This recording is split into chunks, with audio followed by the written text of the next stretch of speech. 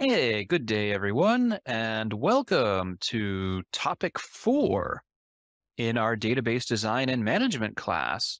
In this topic, we're going to focus on data modeling and the entity relationship model. Let's get started. In this first video, part one of topic four, I'm going to discuss the stages of database development. And again, these are things that don't occur in isolation, but we keep in mind that we're developing databases, typically in some sort of organizational context, for the purpose of solving some kind of organizational data problem. And as we can see, there are at least three major stages of database development. They generally proceed in sequence, but not always. So usually what we'll do is we'll start off with requirements analysis, and this is the information gathering phase of the broader database development process. So what we're doing here is we're trying to learn about the data needs that the organization has as reflected in its a lot of its work artifacts right so again we might look at things like existing reports that are generated those, those reports the the content of the report needs to come from a database. So if, if a manager or a executives, they need particular information summarized in a report format, then we need to ensure that we have that information available and stored in our database. Similarly, we might look at things like, I don't know, user interface forms, right? If we have apps like mobile apps or a web app or something like that, because when we're gathering information, say we know if we're like an, an e-tailer, right, some online retailer, and we're asking customers to provide us with their mailing address information, that would be input or edited on, say, some kind of web form. But on the back end, it has to go and be stored in a database somewhere. So again, this is another good source of requirements. And as we'll see momentarily, there are lots and lots of other sources. However, generally, the process proceeds as once we're done with requirements analysis, we can move into design. And the component design stage is the stage of the broader database development process in which we take what we've learned about the underlying data problem and the data requirements that the organization has. And uh, we attempt to translate those into a fully normalized entity relationship model. That is, we design a database. And as we'll learn here. We'll use the entity relationship modeling tools to accomplish that. But the possibility exists for some iteration here between steps one and two. So uh, if we find ourselves here in step two and we're working on designing the database and we just don't have enough information to decide how to do something, or we find ourselves having to make an assumption then we can iterate. So we may decide that, hey, we don't quite have enough information. So let's go back and go back to requirements analysis and see if we can learn a little bit more about whatever it is we're struggling with during our design process. And uh, we can talk to additional people, try to find additional information, whatever it may be that will allow us to resolve our uncertainty. And uh, once we have that information, we can then go back and continue our design activities. So we can iterate here a little bit, but if we do a really good job in requirements analysis, that sort of iteration should be minimal. And if we go out and we think about it like if you're building a house, right? So if you do a great job up front of planning, measuring, planning, calculating your materials and your labor costs and all the various things that you'll need in order to build the house, then the actual design work should be relatively straightforward. Right? Once you learn exactly what to say a particular homeowner wants their house to be, then you can go and design it without encountering too many problems. However, if you do a poor job in requirements analysis, then it may be necessary to go and in this little analogy, talk to the homeowner again. Say, hey, what color did you want the tile in your bathroom to be? Or or what color did you want me to paint the walls in the bedrooms? So if you didn't gather that information early on, you're going to have to go and ask them again before you can complete your design process. So exactly the same scenario applies with databases.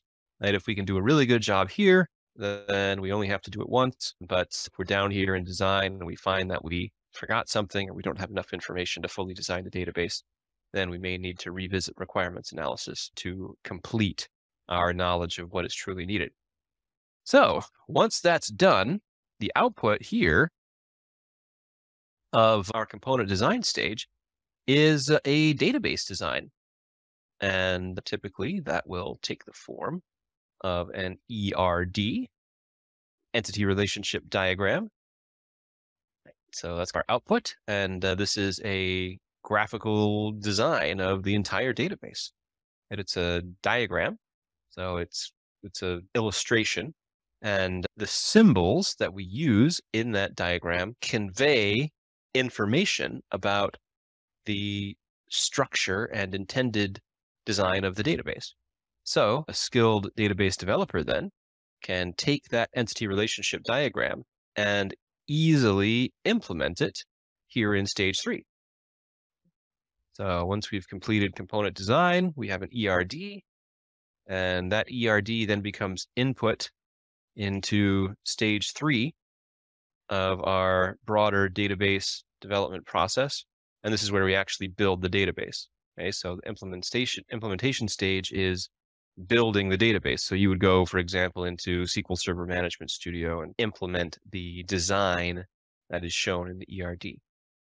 So that's a set of skills in, in and of itself. It's not enough just to be able to design something, but uh, we can take those designs and implement them. One thing that I will note that is an interesting reality in the world of database design is that just like with the structured query language, as long as we focus on the core of entity relationship design, the output or can be used as input into any type of enterprise level database. That is, we don't necessarily, we're not designing for a specific product or a specific database made by a particular vendor, right? We're not designing a database to be implemented in SQL Server or Oracle or MySQL or DB2, whatever it may be, right? We're designing a general solution. And then because these various enterprise level database products all follow the same guidelines. That is, they implement the entity relationship model, right? They have their relational databases. We can then take that ERD and implement it in any database product that we like. So you can get a design from a database designer and build that design in SQL Server, or you can build it in Oracle, or you can build it in DB2 or MySQL, any other sort of enterprise level database product that your company happens to be using. So it's just like SQL. As long as you study standard version of SQL, then you can work immediately with any sort of enterprise level database. Very small learning curve. All right, so let's take a look at requirements analysis in a little more detail. Again, the idea here is to gather information and or the information that we're gathering is all about, you know, what we need to solve some kind of organizational data problem. Keep in mind that databases, these enterprise level databases, support companies and other organizations in several ways. Right? They not only keep track of the organization's data, but they facilitate the work tasks that the employees do on a day to day basis. If you're interacting with any sort of information system, be it on a tablet or a desktop or maybe on your phone, it is almost certainly going to have some sort of data layer to it. And more often than not in organizations, that will be a relational database. So this means that that relational database needs to have the ability to store and organize information that can be used by lots and lots of different people and types of people, groups of people in organizations to carry out their daily work tasks. So if we want to know then what people need in terms of data in order to do their jobs, one way that we can get that information is to talk to them instead of guessing, instead of making assumptions, assuming that we as database designers know exactly what people need in the products that we provide to them. We can talk to them and get them involved in the process and ask them what they think, ask them to explain how they do their jobs, and so on. Okay, so this is a a good source of information. Talk to people. Don't make the mistake that was so common in the computer software world for several decades, where the software designer thinks that they know precisely how software should be designed. And this was a, a great impediment to the progress of the information age, the age of computation, because we had these software designers out there thinking that they knew better than the actual workers how to design software that would allow those workers to do their jobs. So you would have these giant messes of like maybe you're making software for the people that work at a bank and you don't actually talk to them and you just go and build it and say here's how it is and you're going to have to learn to adapt to it. It's much much better smoother process if you can actually get the people involved early on and then really build a product that will suit them and meet their needs. Same thing applies here with database designs other sources of requirements include lots of existing IT artifacts, right? We can look at forms, as I was describing earlier. These could be like data input forms on, I don't know, maybe your company's website or on a mobile device, or uh, maybe you have some standalone desktop software that the company uses. So these are great sources of requirements for database design as well. So are existing reports, right? So maybe we have, I don't know, like exception reports that we might generate on an unusual basis. Show me all the people that didn't come to work today when they were supposed to. So something unusual has happened. Or this could be periodic reports. So maybe once every week we generate a end of week sales summary for the manager of the sales department. Okay, so, but the information that is displayed or conveyed on those reports will likely come from the database. And that means by looking at the reports, we can reverse engineer them to figure out what data needs to be stored in the database so that these reports can be generated. Another great source is to look at existing queries. So you can look, for example, at what are people asking the database to answer? Maybe they're writing uh, queries using SQL select statements. Maybe you're looking at queries that are embedded inside existing software programs.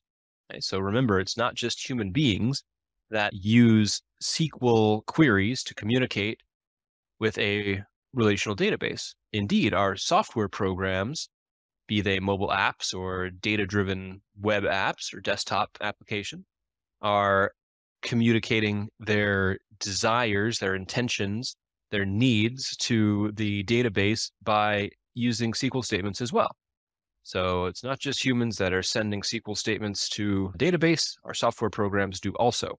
And that means there will be embedded queries in many software programs that we can use as a source of requirements when we're working on database design. Another is use cases or user stories, the evolution of this old idea of use cases from the unified modeling language, where basically we have a story that tells what a particular user of the system eh, needs to do.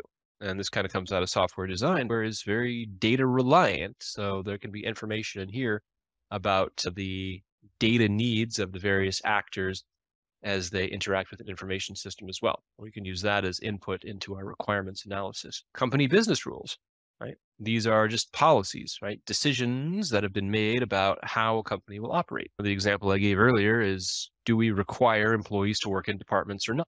Right? That's a business rule. Somebody made that choice. Other types of business rules might be things like, I don't know, how often do we have to change our passwords?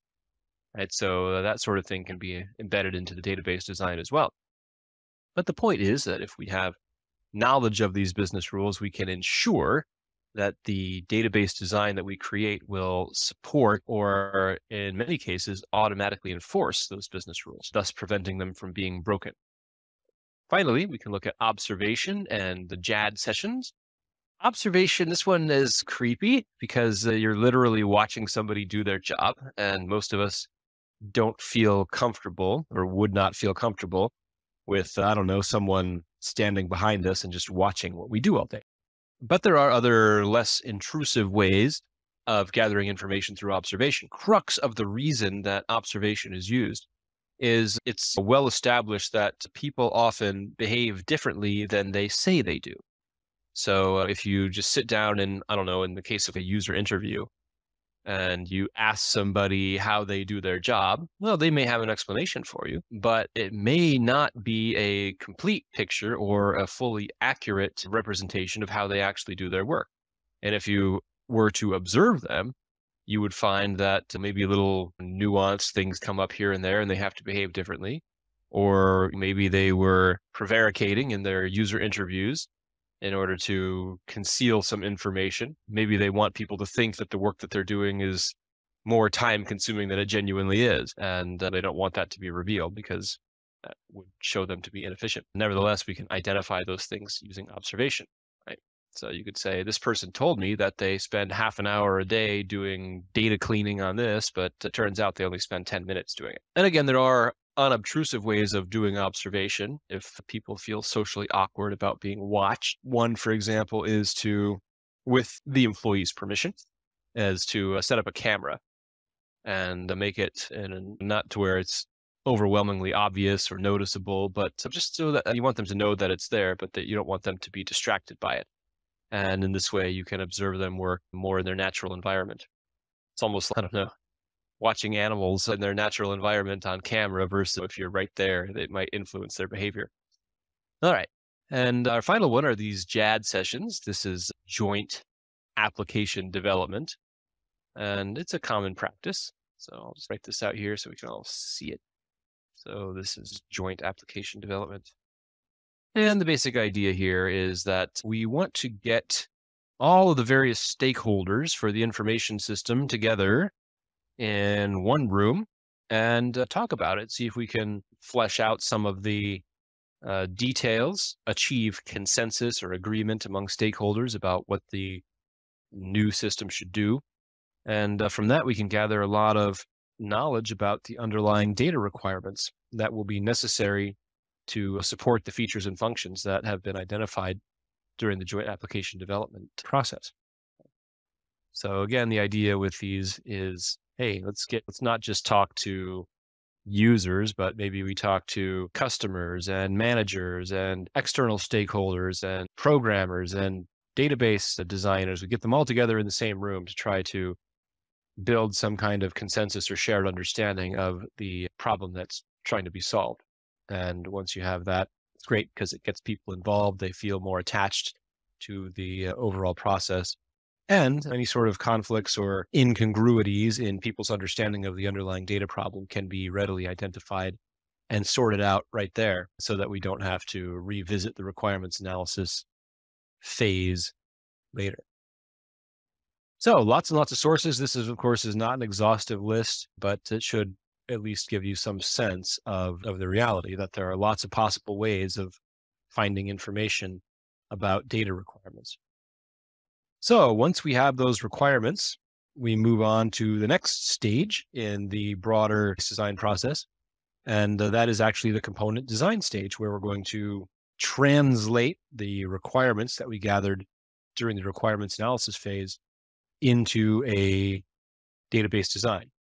And that database design will take the form of an entity relationship or ER diagram or data model.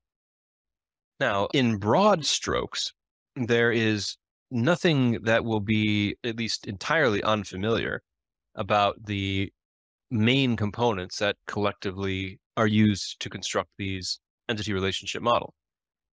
These are entities or tables. So we already have an idea about what that concept is. Attributes, right? The constituent columns that comprise an individual table. And we know that we can broadly classify attributes into two groups, identifiers or keys, or regular non-key attributes, right? It's not a primary key, not a foreign key, just some regular attribute hanging out in there. And uh, we know that in the relational model, these tables or entities are interconnected to each other. So you have relationships as well. All of these various things are depicted in an entity relationship model. Now, we've seen some database diagrams previously in our class. Entity relationship models, however, once we learn all of their various subtleties and capabilities, allow us to convey much more detailed information about the design of the data solution than can be conveyed using the sort of simple database diagramming tools that are provided, for example, inside SQL Server Management Studio. So although the main constituents are the same, tables, attributes, relationships, those are all the same. Entity relationship modeling provides us with a set of tools that allow us to convey much more detailed or subtle information about the design. So I think we'll find that to be of interest as we proceed.